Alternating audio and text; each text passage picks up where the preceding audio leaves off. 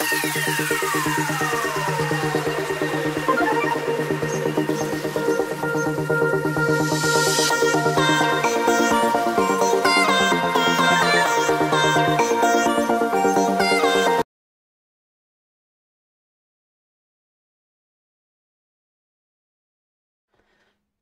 morning everybody and welcome back to a brand new video. Today I am going to show you the purchases I have made in Wilko today because our local Wilko is doing a bit of a reduction at the moment because obviously according to the news we don't know what's actually going to happen with Wilko.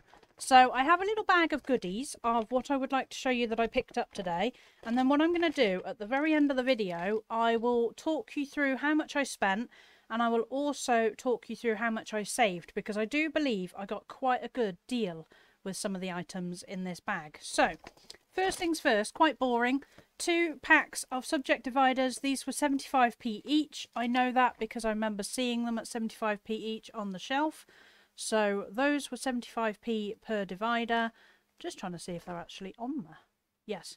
So those were 75p for both dividers. So that was a bit of a bonus.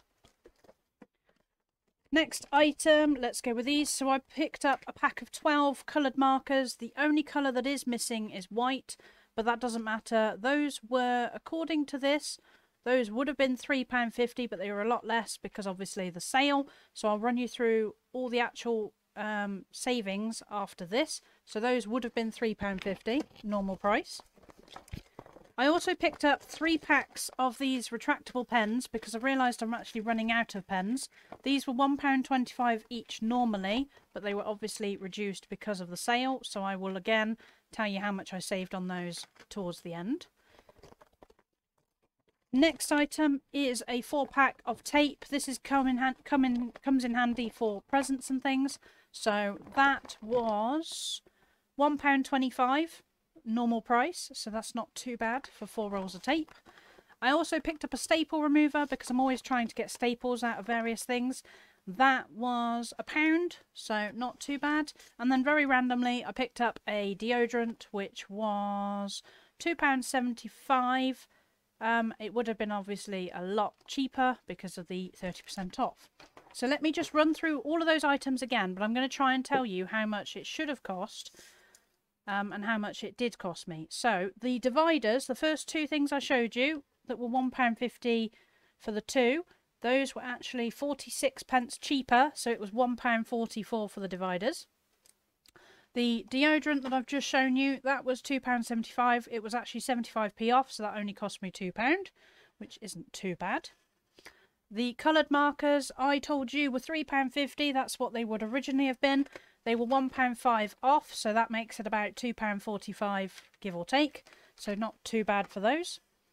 The pens that were 125 each, um, I got £1.14 off the entirety, so I'm not actually sure how much that would have been. Let me just have a quick look for you. So they were £1, no hang on, what were we saying? They were £3.75 and they were £1.14 off.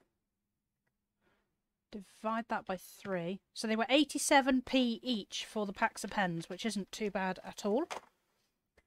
The tape was £1.25, take away 38p.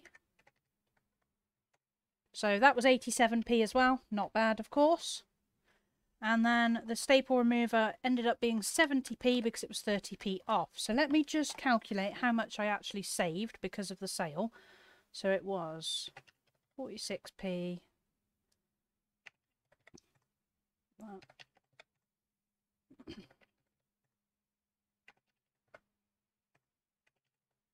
So I saved myself £4 8p and my total was £9.67.